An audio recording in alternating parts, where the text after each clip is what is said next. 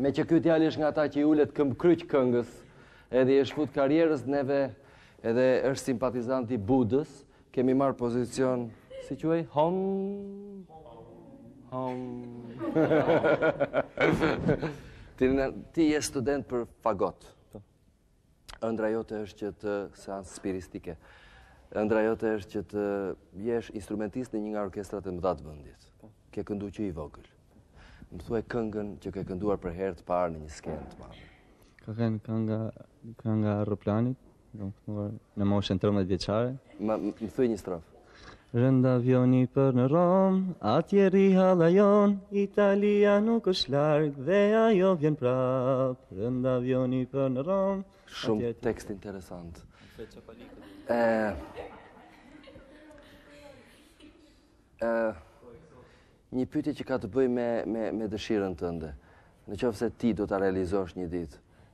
ëndrën tënde për të qenë instrumentist në një nga orkestrat e mëdha të vendit, orkestra radio televizionit për shembull.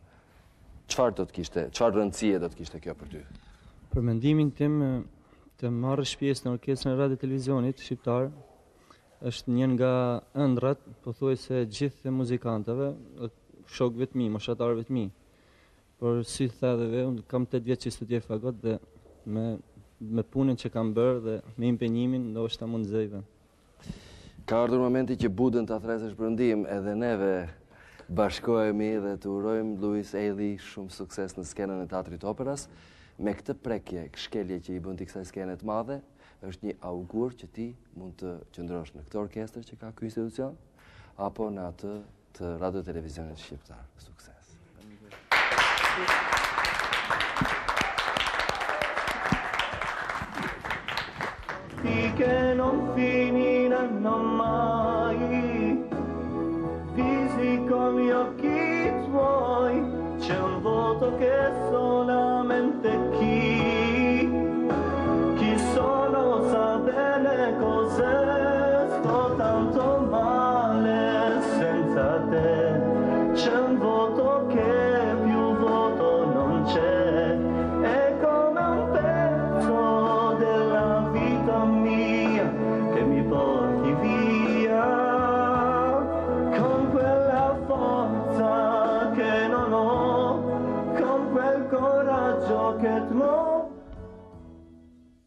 E frendelit Dhe gjo Them që Kur shkon lart Kujdes pak notat lart Se të rëshkasin Notat lart Kujdes in, intonacionin Ritmikisht është ok është mirë domethënë Por notat lart kujdes shikoji pak Notat poshtë janë shumë mirë